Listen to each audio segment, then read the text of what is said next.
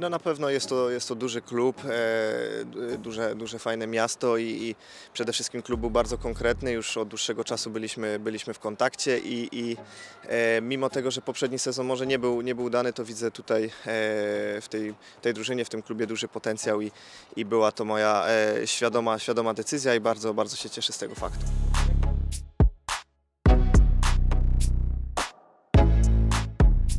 Myślę, że przede wszystkim e, jestem bardzo ambitnym zawodnikiem. e, Także, także nie chciałbym za dużo mówić o swoich jakichś e, zaletach, bo chciałbym, chciałbym, żeby to kibice zobaczyli, zobaczyli na boisku. Chciałbym dawać radość kibicom i, i przede wszystkim pomagać w kolejnych zwycięstwach.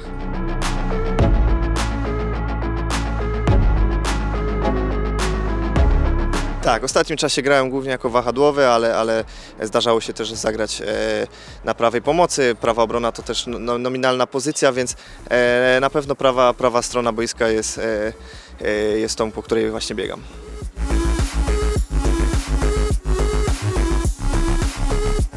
Ten ostatni mecz, bo, bo tutaj e, graliśmy e, w barwach, barwach Piasta, też e, wygraliśmy 3 3-1, więc to jest takie e, spotkanie ostatnie, więc najbardziej zapadło w pamięci.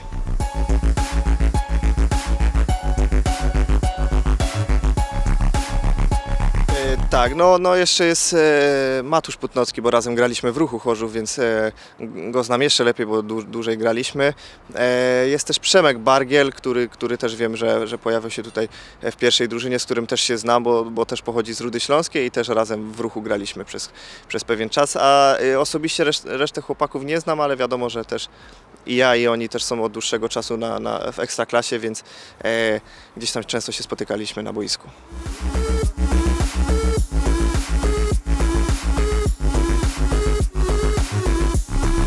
Teraz wchodzę, e, będę w si- w sile wieku, więc na pewno e, mogę grać na, na bardzo wysokim poziomie i, i, i to chciałbym przede wszystkim pokazać, e, pokazać na boisku. Nie, nie, nie stawiam sobie jakichś indywidualnych celów.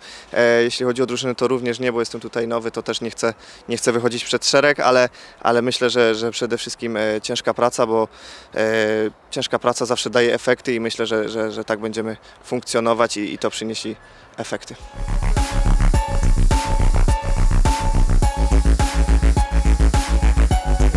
Tak, przede wszystkim mogą mieć pewność, e, jestem, jestem e, Polakiem i była taka sytuacja, pamiętam, e, sędzia do mnie po angielsku, ja odpowiadałem normalnie po polsku, a on dalej, dalej, dalej e, e, po angielsku, no taka troszkę śmieszna sytuacja, ale ogólnie w życiu kilka razy się zdarzało, że, że stałem e, pomylony, że jestem obcokrajowcem i ale, ale tak, potwierdzam, jestem Polakiem.